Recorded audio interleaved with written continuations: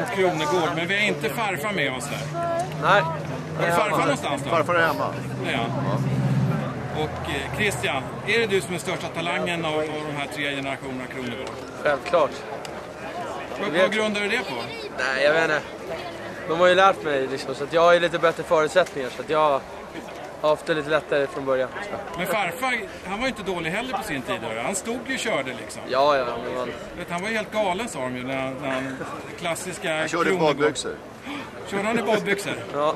Nylonbadbyxor. Och tropikhjälm. Greger, vad- säger du om de andra? Vem är det som är bäst i familjen Ja, de egentligen? får komma tillbaka när de har vunnit Daytona. Och Christian, när hände det då? ja, det beror på. När pappa börjar punga lädret liksom. Då... Det är det. Ja, det är slut nu. Tycker, tycker, att han är slu, tycker, tycker, tycker att han är snål? Leder, Nej då. ledret piper. Det är det. Mycket gnäll om det. Ja. Men Greger, Daytona, vad vann du mer än Daytona? Sebring? Men det var inte Camaro Cup det. Nej, det var inte Camaro Cup. Det var det inte. Vilken, vilken klass var det? Det var formelbil. Formel V. Formel Super. Hur, hur, hur funkade de bilarna? I stort sett som en F3 på den tiden. Lika snabba? Ungefär.